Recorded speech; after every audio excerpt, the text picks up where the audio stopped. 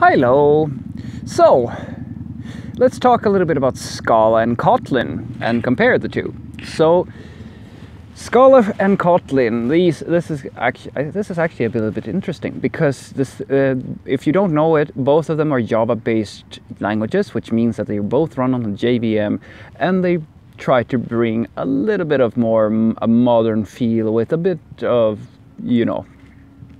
Basically, tr they're trying to solve things that Java was way too slow at even considering back in the day. Now Java is catching up in many many senses with Java 8 and even Java 9 coming out pretty soon, where a lot of these issues that Kotlin, basic well Scala was before uh, was first with solving those issues with functional styles and so forth coming into the language. Now, if you have a look at, for example, Scala, which is uh, what I'm using right now after work, it's uh, it's very Java-like in many senses, and it's actually when Kotlin kind of was released and I started using that for a little while, I realized that they're all actually Scala and Kotlin are they're very there are a lot of similarities, not as many as between Kotlin and as between uh, between uh, Swift and Kotlin are probably the closest when it comes to language similarities. It's basically like Swedish and Norwegian it's so close that you can speak e either one and both parties are going to understand each other. And the thing I wanted to touch on is basically that if you compare these two, unfortunately, I have to say that what I've seen so far, now I'm not an expert in any way, like I've been using Scala for mm, a few weeks, reaching into my first month now, full-time professional development, if you will. And the like the best part about Scala that I like what I truly enjoy about Scala is that you know you have the asynchronicity, you have futures, and you have all all those types of things. Unfortunately, there are enough things going on in that language that I am not a fan of, and things that the language does as well or as poorly as most like a lot of other other languages. Like I, one of the things I hate most about Ruby is all the DSL bullshit. I, I absolutely hate the the con- like having this like you basically creating your own pseudo language or like uh, operator overrides and all that all those things makes it very very difficult for you in my opinion to adopt this new language because like like you can't really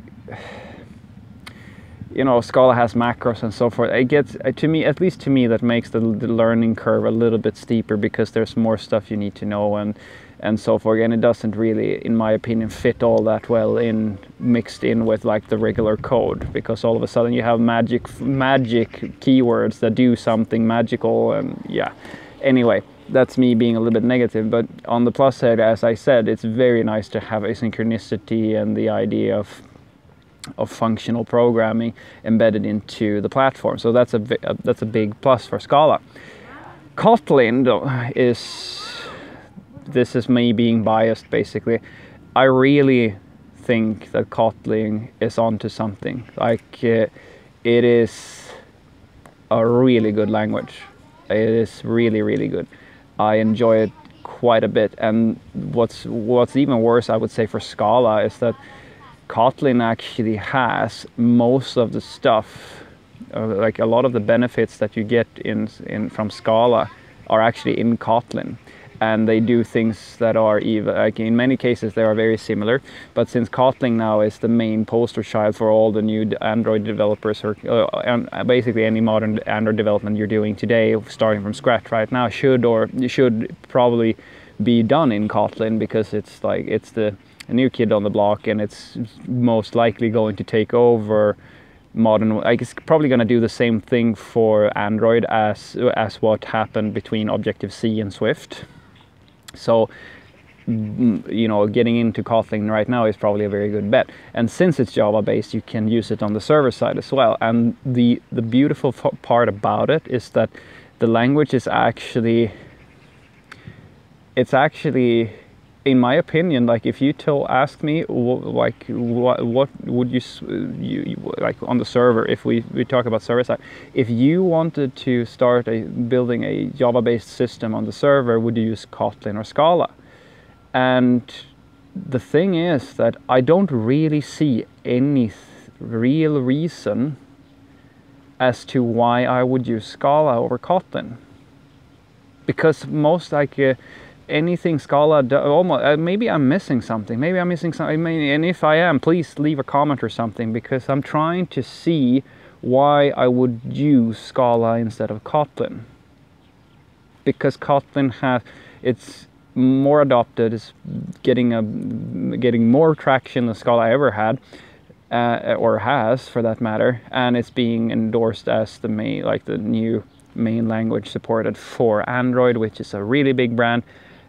So I'm trying, and it can basically do everything that Scala can do. So uh, this is me being basically saying that I don't really see a good reason why you would pick one over the other apart from you know you always you obviously still you already have a code base that is built in Scala. Now there's nothing wrong with Scala but if you get to choose between the two I would choose Kotlin every single time. Every single time though there is one thing no no that I've actually I'm actually mentioning it I'm thinking about it there is one thing that Scala does very well, which is pattern matching. It has very nice support for pattern matching. And yeah, that might not be a strong case for it, but it's something at least. Sorry to disappoint you, but I can't really give you an objective like comparison between the two and you should use one over the other. I would actually go as far as to say that if you're if you have the choice today, choose Kotlin that's basically the end of my little rant here.